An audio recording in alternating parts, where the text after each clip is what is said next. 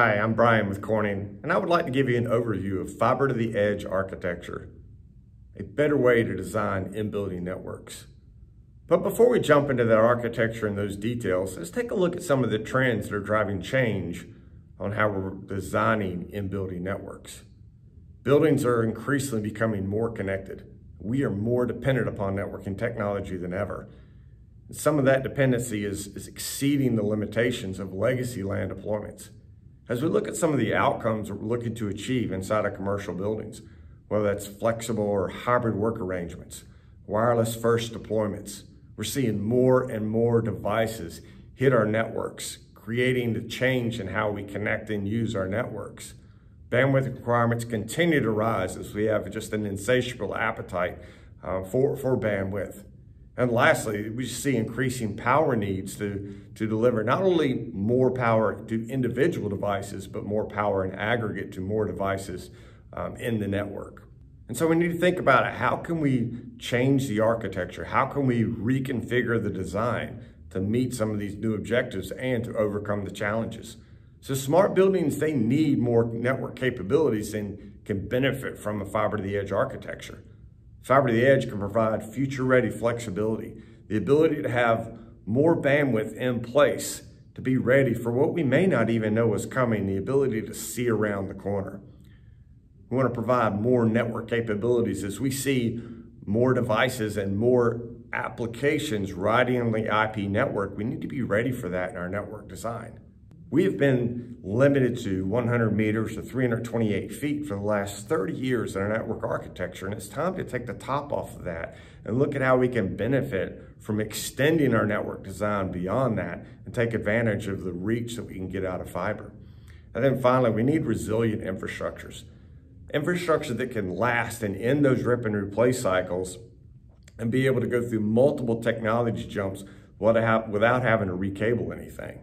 Let's jump into what we're seeing with wireless. I mentioned wireless first deployments a few minutes ago, and wireless, in its as it grows in its implementation and its capabilities, it, it does drive a lot of network demands. And we see that the continued growth in cellular connections and its capability and its speed that it can deliver. Wi-Fi continues to grow as we see it, it growing in terms of not only bandwidth that it can deliver, but its ability to handle multiple sessions, multiple users at one time. And that's important because we have so many more devices that are connecting to the network. And we look at doubling that by the year 2030. We just have too many devices in the network to cable them all independently. Let's take a look at some of the limitations of what we've done traditionally. Category cable has served us extremely well. Our standards for the TIA standards that started in 1992 set the rules for a vendor independent, application independent topology or architecture and how we would cable a building. And as, as network capabilities and appliances increased, we go through the levels of category cable. The problem is, is that we're reaching a cap in what category cable can deliver in terms of bandwidth. And we've already reached that cap in terms of reach and latency comes in to be a problem as well. So let's look at Cat 6. Cat 6 delivered us two M gig connections, either two and a half or five gig um, connections. Cat 6A gets us to 10 gigabit per second. And that's about it, because Cat 7 and 7A exist as well, and they are better forms of cable, but really still only deliver 10 gigabit per second at 100 meters. Yes, there is Cat 8. That gives us 40 gig, but only a 30 meters. So that's not a viable cable medium for the office or for the commercial building space. That's more of a data center, and even then restricted to within a row or, or even within a rack of a data center, so the reach is, is extremely limited there. And we look at fiber and its capabilities, both in terms of bandwidth, single mode fiber has virtually unlimited bandwidth, and the reach that it has really opens up the aperture of what we can do in our design of networks. Now, why do we even need more than 10 gigabit per second, you may be asking? Well, there's a couple of things to address there. First off, we can say that all of our gig connections are underutilized today. And when we think about placing a, a specific amount of bandwidth to a specific port, to a specific user for a specific device, that could in, in fact be the case. But we need to change the way that we're looking at that. And if we think about having connections and bandwidth in aggregate, we could get much better utilization out of our, out of our network electronics. But at the same time, that will require a higher bandwidth connection and more throughput.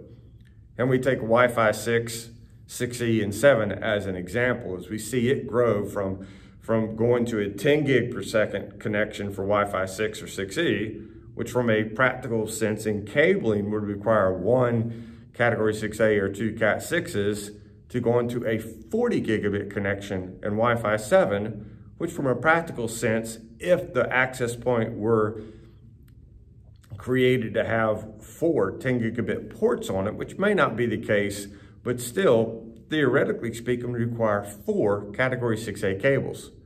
So a better answer there is if I can eliminate four cables with one and provide that connection over fiber and still have enough bandwidth, still have power there to go beyond for the next jump in technology as well.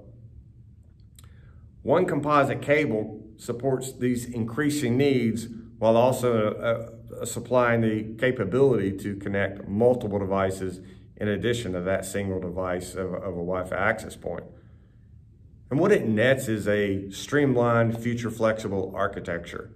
So on the left-hand side of this, we kind of see legacy deployments. And I want you to notice two things. Not only that a crowded cable tray, which is the case, but that crowding is also because we tend to build our network in layers based on the application, as opposed to taking a converged approach and putting multiple applications onto a single layer and tremendously decreasing the amount of infrastructure that it takes to build that network. Let's compare the network architectures. From a copper perspective, we are very used to repeating that architecture over and over and over based on that 100 meter limitation.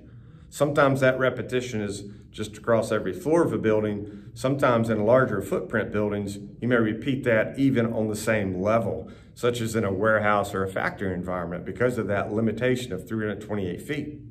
With fiber to the edge, we can not only span across a large footprint building, such as a, a manufacturing facility or a, or a warehouse, without having to repeat doing it from one MDF or telecommunications closet. But the same thing is spanning multiple floors as well. So it really expands the architecture and the functionality that architecture we can do inside of our buildings by looking at this fiber to the edge.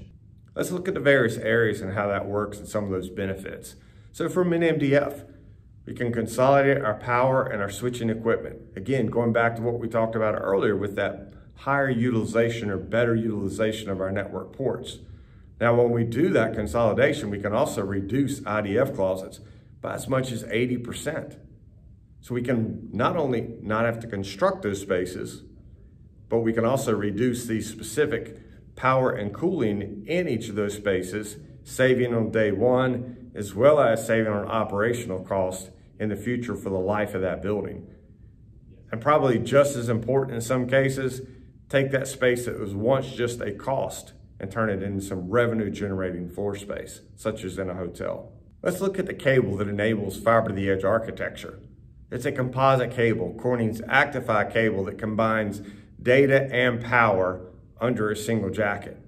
The construction is multiple single mode fibers along with multiple copper conductors, not twisted pair conductors, so to speak, but 20 gauge, 16 gauge, 14 gauge, 12 gauge conductors that deliver or that carry and deliver class two low voltage DC power.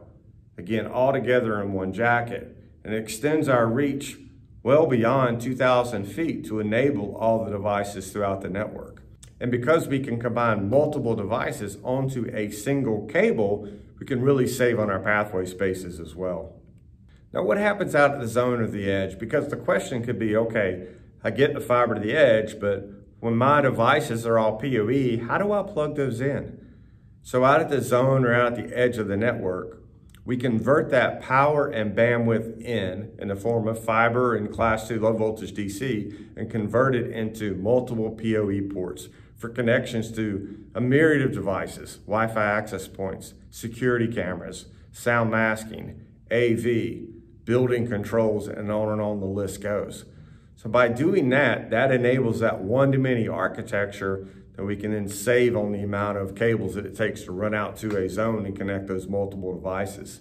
And by delivering power remotely, We save on the cost of having to add independent local AC outlets for every device out at the edge of the network.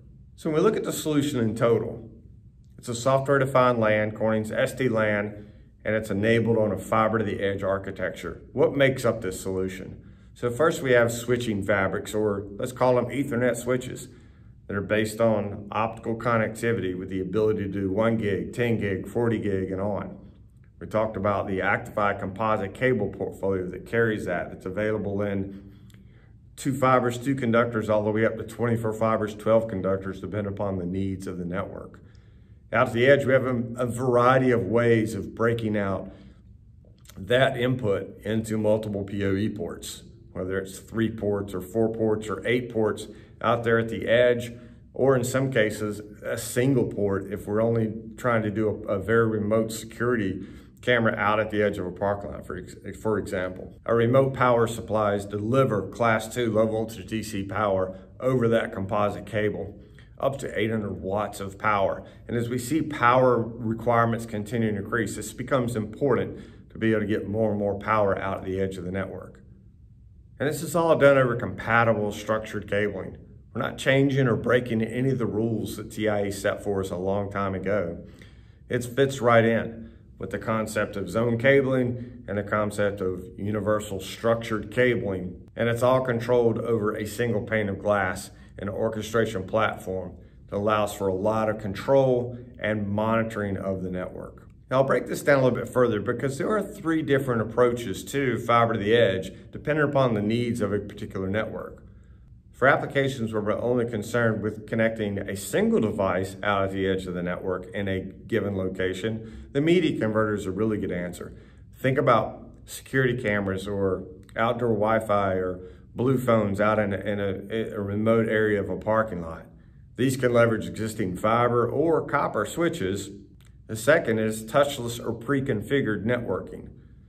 So taking it a step up where we do need multiple devices in a single location, but it's not an expansive network and we're not concerned about the management or needing to, to fully manage that. So this is a plug and play pre-programmed solution, kind of a set it and forget it, um, but does enable a one-to-many architecture out at the edge. And then finally, we have a fully managed option with full SD-LAN. Very custom and flexible, really for our larger networks, that are more scalable. We're looking at, at connecting multiple devices out at the edge of the network and having complete control and monitoring over the entire network.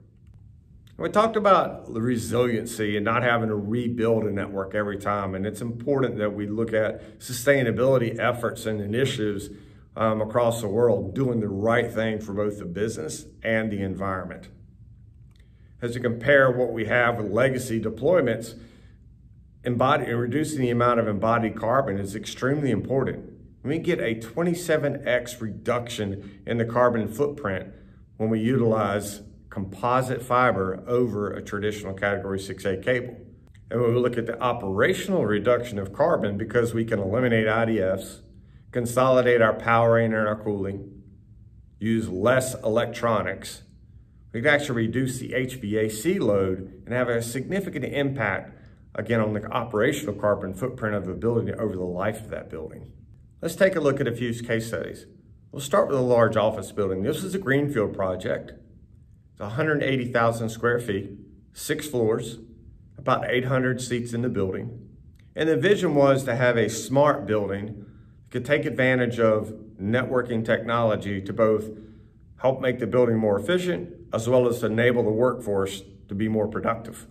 It's a wireless first environment, so not delivering hardwired drops to every desktop, but utilizing Wi-Fi as the main point of connection to the network for both, for both voice and data. There's also an indoor cellular overlay providing two carriers inside of this building as well. And so the idea is to have network connectivity as a utility. All of those applications were now combined onto a single layer of infrastructure. Not cabling each one independently, but taking advantage of this one-to-many architecture with fiber to the edge. And what that enabled was a 70% reduction in the linear feet of cable. That resulted in a 29% savings strictly on labor material for cabling the building. Additional savings were found in a reduction of 50% of the cable trays. 80% of the IDFs, or telecommunication closets, were eliminated. And that reduced not only the construction of those spaces, but as well as the addition of the specific power and cooling in each one of those spaces.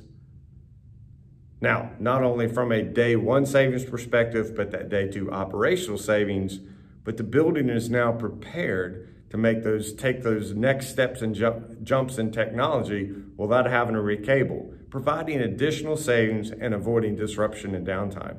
Let's take a look at another use case. Change gears a little bit and look at a stadium. In this case, they needed to connect 48 outdoor security cameras but had limited local powering options. So Fiber to the Edge came along to solve for both the reach that was needed to get bandwidth out to those locations, but also provide the necessary power. And it resulted in a 50%, 50% savings over traditional cabling. It also resulted in enough power and bandwidth being delivered to those locations where they have expansion capability. If Wi-Fi access points are wanted to be added or a cellular overlay, the network connectivity as well as the power is already there.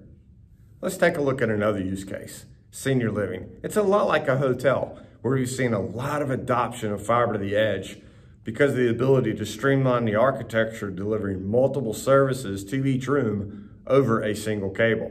And in senior living, it's no different. In this case here, savings of 29% again on day one by being able to converge that infrastructure, converge those applications onto a single layer of composite cable. In summary, fiber to the edge delivers and enables smart, sustainable buildings. And we compare the architectures, we can see the limitations of the legacy copper LAN. So we have a dedicated infrastructure for each network application, and we depend upon rip and replace cycles to enable every technology upgrade. And with the limitations they have on category cable, it's not as much rip and replace in the future as it's just gonna be add more. That's just not a financially viable outcome, both in terms of the resiliency as well as the cost of a network. A legacy copper LAN, is also capital and resource intensive. Not only the front end of that build of the network itself and the ancillary spaces required to support the massive infrastructure that it takes, but also its limited ability to go through technology upgrades without having to rebuild and disrupt the workforce. And when we compare it to fiber to the edge architecture, we just see less disruption. We're not dependent upon a rip and replace cycle for technology upgrades. We're just simply changing the devices out at each end without having to recable. They're less cost and more simple with less infrastructure there. 70% less linear feet of cable, 50% less cable trays, reduction of IDFs and specific power and cooling just takes a lot of material as well as operational costs out of the network. It's future flexible able to make those additional jumps in technology without having to recable and rebuild the network, which means that it's more resilient. I'm using less materials over the life of that building, reducing the carbon footprint and creating a more sustainable solution. Thank you for your time today. I hope this has been an informative and beneficial session on how seeing fiber to the edge is a better way for designing in-building networks.